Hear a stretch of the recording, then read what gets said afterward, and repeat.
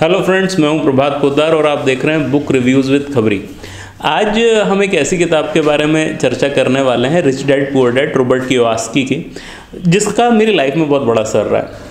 मैं ऐसा कह सकता हूँ कि मेरी लाइफ में जिन तीन किताबों का असर बहुत ज़्यादा रहा है, उसमें से ये एक है। बाकी दोनों हैं द फाउंटेन हेड और गॉडफादर। खैर, हुआ ये कि काफ़ी वर्ष पहले की बात है, मैं ट्रेन से ट्रैवल कर रहा था और मेरे बाजू में एयरटेल के एक एचआर मैनेजर बैठे थे। तो मैंने उनसे बातों ही बातों में पूछा कि आप मुझे कोई बुक क्यों नहीं रिकमेंड करता आप एच के व्यक्ति हैं? तो उन्होंने मुझे डैड पुअर डैड के बारे में कहा था कि आप बुक्स पढ़िए। ये किताब मैंने पढ़ी और पैसे को जो मैं जिस नज़रिए से देखता था, ये कहीं ना कहीं इस किताब ने चेंज कर दिया। रॉबर्ट की बताते हैं कि पैसे के साथ आपका व्यवहार क्या होना चाहिए। पैसा तो बहुत लोग कमाते हैं, लेकिन क्या हर व्यक्ति अमीर बन जाता है? तो ऐसा तो नहीं होता। उसका रीज़न क्या है? तो उन्होंने कहीं ना कहीं इसको एक्सप्लेन किया है और ये बताने की कोशिश की कि आप ऐसा क्या करें कि लाइफ में आप थोड़े से आगे बढ़ जाएँ। ठीक है। तो एक बहुत ब्यूटीफुल चीज़ वो कहते हैं कि हमको हमेशा ऐसा लगता है कि अगर हम ज़्यादा पैसा कमाने लगे तो हम अमीर हो जाएँगे। यानी कि अगर आज हम बीस हज़ार रुपये कमा रहे हैं, कल तीस कमाने लगे तो हम अमीर हो जाएँगे। तो ऐसा बहुत कॉमन परसेप्शन है, लेकिन वो कहते हैं आपको केवल कमाई नहीं देखनी। आपको ये भी देखना है कि आपके खर्चे कितने हैं। मान लीजिए, आज आप बीस हज़ार रुपये कमाते हैं और अठारह हज़ार रुपये आपका खर्चा है तो आप बचाते कितने दो हज़ार रुपये बचाते हैं। जैसे ही तीस हज़ार कमाने लगेंगे तो आप अपने खर्चे भी बढ़ा देंगे। बेहतर रेस्टोरेंट्स में खाएँगे, ज़्यादा बार बाहर जाएँगे, कपड़े बेहतर पहनने लगेंगे। तो हो सकता है आप अट्ठाईस हज़ार रुपये खर्च करने लगे। तो at the end of the day हो सकता है आपकी लाइफ तो इम्प्रूव हो गई, लेकिन आपने बचत कितनी करी?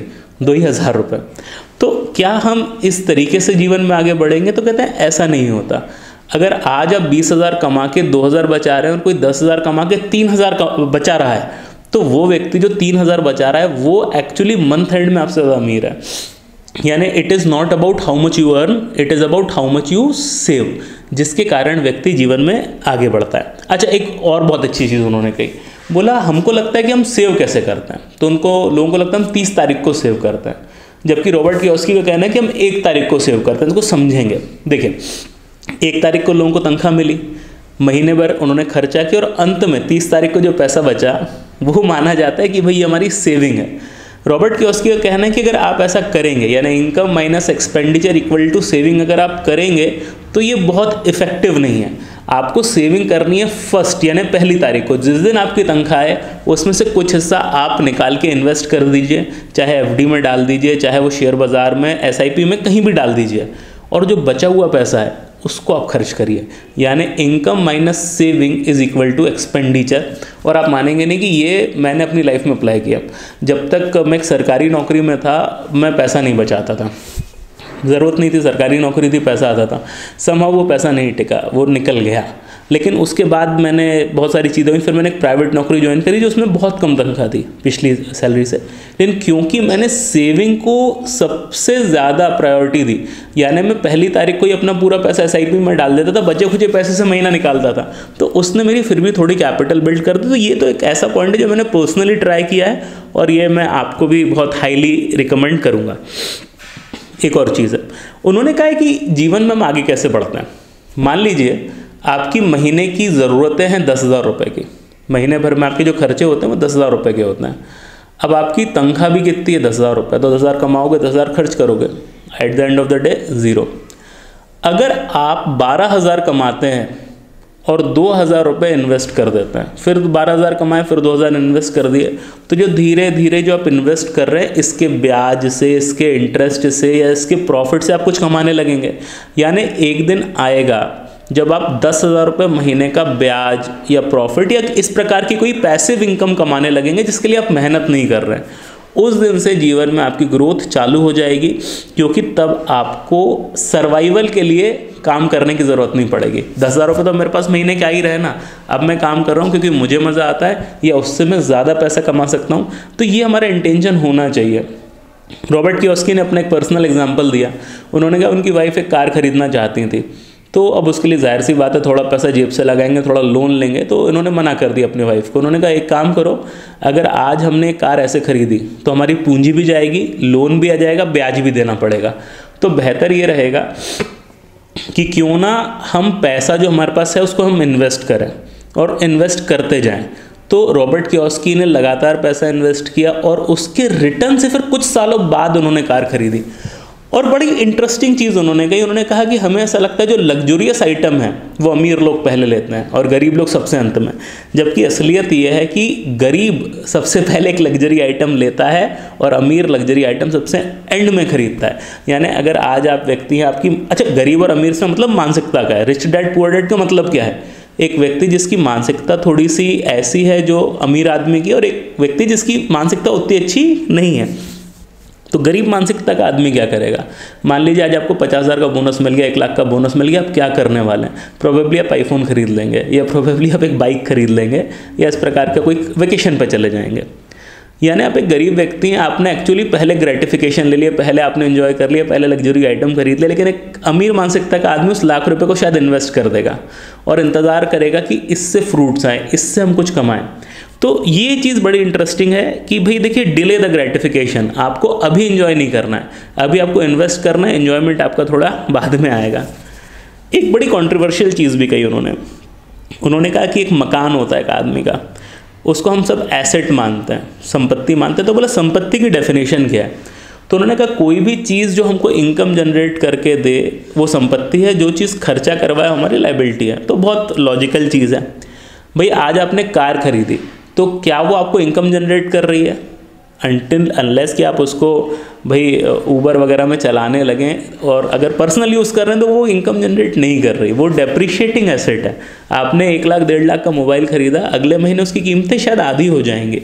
यानी ये एक ऐसे इन्वेस्टमेंट्स हैं जिनकी कीमतें एक्चुअली कम होती है। तो आप उनको एसेट एक्चुअली बोल नहीं सकते। हाँ टेक्निकली वो एसेट्स हैं, लेकिन रॉबर्ट क्योस्की के हिसाब से नहीं है। और बड़ी इंटरेस्टिंग और कंट्रोवर्शियल चीज़ उन्होंने कही। उन्होंने कहा, जो मकान होता है हाउस होता है, बोला हाउस को हम एसेट मानते हैं, लेकिन उनका ये कहना है कि आज आपने पाँच लाख में एक मकान खरीदा, कल वो पाँच करोड़ का हो गया। तो क्या आपकी संपत्ति बढ़ गई? अनटिल अनलेस आप वो मकान बेचने को तैयार नहीं है तो पाँच करोड़ का हो या पाँच हज़ार करोड़ का हो जाए उस मकान की कोई वैल्यू नहीं है। वो जितना आपका किराया बचा रहा है, वो उसके लायक है बट अगर आप उसको बेचने को तैयार नहीं है तो एक्चुअली मकान आपका अदरवाइज़ इनकम जनरेटिंग एसेट नहीं है। जबकि हम भारत में तो खासतौर से मानते ही हैं कि मकान की वैल्यू बढ़ गई। भाई, बढ़ गई, लेकिन आपने खर्च किया क्या? आपने उसको बेचा क्या? उससे कुछ कमाया थोड़ी आपने? टैक्सेशन अब ये टैक्सेशन थोड़ा सा टेक्निकल है, लेकिन मज़ा आएगा आपको। भाई, आप कमाते हैं, आपकी सैलरी है, आप दस हज़ार, पचास हज़ार रुपये महीने के कमाते हैं, उस पर टैक्स देते हैं और बाद में आपके घर के खर्चे बिजली का बिल, घर में जो नौकर काम कर रहे हैं, पेट्रोल वगैरह का खर्चा करते हैं। लेकिन यही टैक्सेशन जब एक कंपनी देती है या एक बिज़नेस देता है तो थोड़ा सा अंतर आ जाता है। महीने में पचास हज़ार का धंधा किया, उसके बाद नौकर की तनख्वाह दी, बिजली का बिल, सारे खर्चे निकाले, उसके बाद जो मुनाफा बचा, उस पर टैक्स देता है एक बिज़नेस यानी एक हाउस होल्ड एक इंडिविजुअल अपनी इनकम पे टैक्स देता है और एक बिज़नेस अपने प्रॉफिट पे टैक्स देता है। यानी एक व्यक्ति को हमेशा इंडिविजुअल इनकम की जगह बिज़नेस इनकम की तरफ़ जाना चाहिए। यार, आपने कभी देखा होगा, शायद आपके आसपास कोई बिजनेसमैन हो, आप देखते होंगे वो हर तीन तीन सालों में नई कार लेते हैं। तो आपको ऐसा, आपने अगर नहीं देखा तो मेरे साथ तो बहुत अनुभव रहा है ऐसे। वो नई कार क्यों ले रहे हैं? क्योंकि भारत सरकार के टैक्सेशन पॉलिसी आपको तीन साल तक आपकी कार के डेप्रिसिएशन अलाउ करती है, जो टेक्निकल चीज़ समझते हैं, वो जान जाएँगे। यानी अगर आपने दस लाख की कार खरीदी, पहले साल उस पर बीस, दो लाख का डेप्रिसिएशन लग गया, ये आपके प्रॉफिट में से माइनस हो जाता है। फिर दो साल और, यानी तीन साल तक आप डेप्रीसिएशन माइनस करके टैक्स कम कर सकते हैं। इंडिविजुअल को ऐसा कोई फ़ायदा भारत में मिलता नहीं है। तो यानी कहीं ना कहीं शायद हमको सोचना चाहिए कि हमको एज अल्टरनेट इनकम कोई ना कोई अपने बिज़नेस स्टार्ट करने चाहिए। ये भी रॉबर्ट की कहते हैं।